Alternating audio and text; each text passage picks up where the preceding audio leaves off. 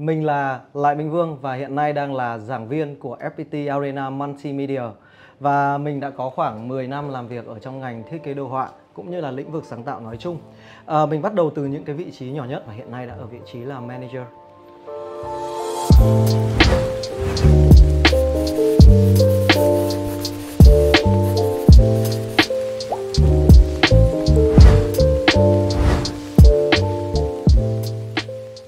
Chưa bao giờ anh nghĩ cái câu chuyện là anh sẽ đi dạy cả.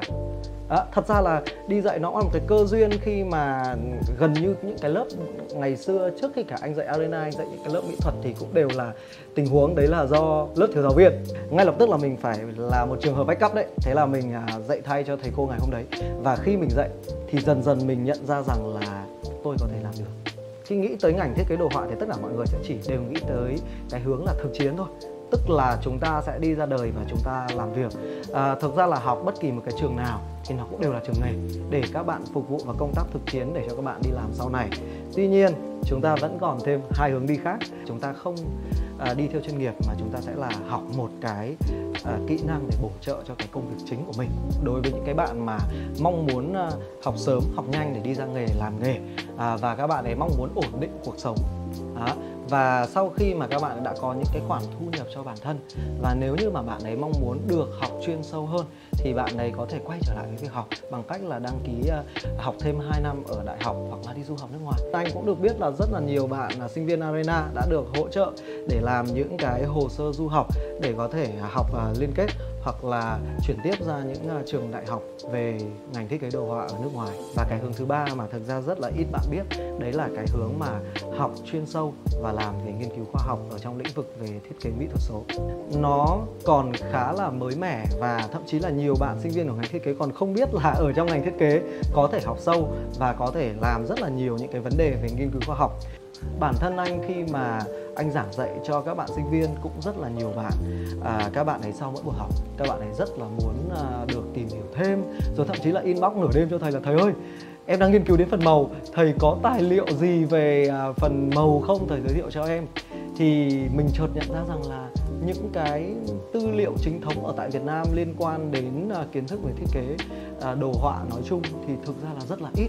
Mà đa phần những cái à, kiến thức chính thống những cái tài liệu chính thống đều đến từ những uh, tài liệu của nước ngoài. Vì vậy cho nên là khi gửi cho bạn ấy những cái tài liệu thì anh cũng phải chọn lọc rất là nhiều và mình nhận ra một cái nhu cầu của sinh viên arena.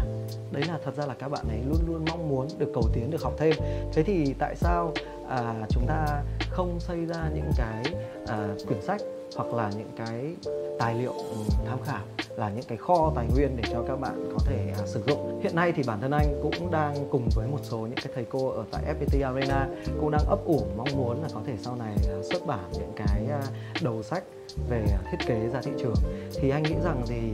để mà làm được những cái đầu sách như vậy thì phải là một người đã có cái quãng thời gian về nghiên cứu khoa học bởi vì nếu như bạn không có nghiên cứu khoa học thì chắc chắn là bạn sẽ không thể viết ra được những cái à, cấu trúc hoặc là những cái à, kiến thức trở thành quy chuẩn để bạn đưa vào trong một cái đầu sách của một nhà xuất bản.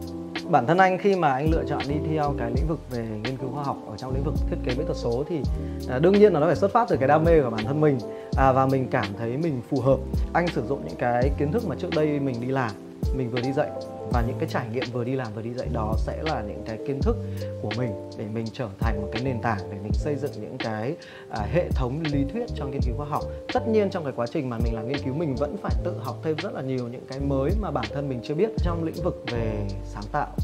à, đồ họa nói chung thì chúng ta có rất rất nhiều mảng để có thể đào sâu. Ví dụ như là nghiên cứu về những ngành nghệ thuật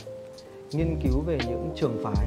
nghiên cứu về các dòng tranh dân gian ứng dụng vào trong các kỹ thuật in đồ họa nghiên cứu về các uh, ứng dụng công nghệ trí tuệ nhân tạo vào trong các lĩnh vực về thiết kế. Thì đó đều là những vấn đề mà nếu như chỉ là chúng ta đọc ở trên mạng thôi hay là chúng ta chỉ làm cơ bản thì tất cả những cái thứ đó nó chỉ là cưỡi ngựa xem hoa thôi. Còn trong trường hợp nếu như bạn muốn chuyên sâu thì bạn sẽ thứ nhất là bạn sẽ phải mất thời gian bạn đi học hoặc là bạn phải làm một cái nghiên cứu khoa học để bạn có thể đào sâu về bản chất của những cái vấn đề.